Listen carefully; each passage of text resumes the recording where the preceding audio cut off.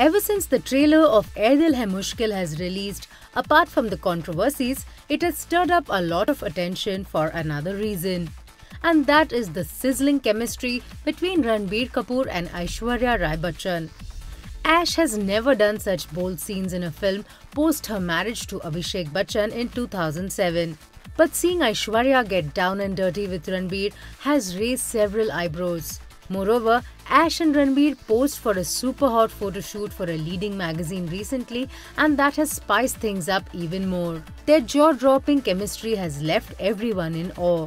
Up until recently, we only saw Ranbir promoting the film on various platforms. But yesterday, Aishwarya and Anushka joined him on Kapil Sharma's show to raise some laughs and promote their film. However, the only picture that stands out is the one where Ranbir is hugging Aishwarya.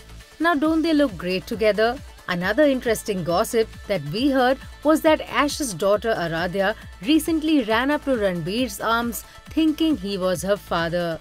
The little girl got confused with Ranbir's jacket and stubble thinking it was her dad Abhishek Bachchan. Well, with Ranbir just getting over his breakup with Katrina and there being rumors about Ash and Abhishek's growing indifference, we just hope their closeness doesn't make things worse. For more Bollywood updates, subscribe now to youtube.com slash biscoottv.